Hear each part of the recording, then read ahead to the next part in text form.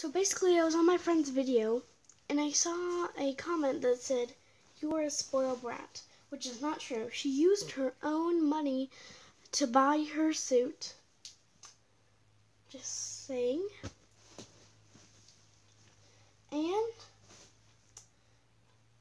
she's not a brat. She's really nice. And yeah, she's really nice. And her art is really good and she just makes her videos to make people like happy and stuff. And then this person just comes along and says you're a spoiled brat which again is not true. I just gave you proof that it's not true.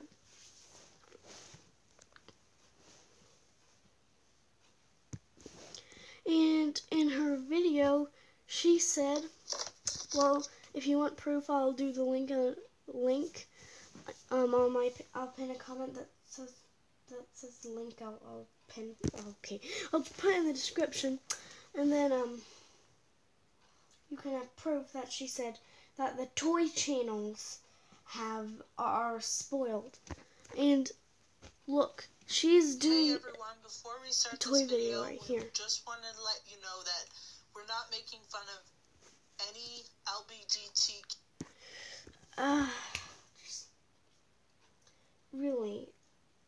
Uh, strawberry milkshake. If you're watching this, like, please just stop. Just, just stop it.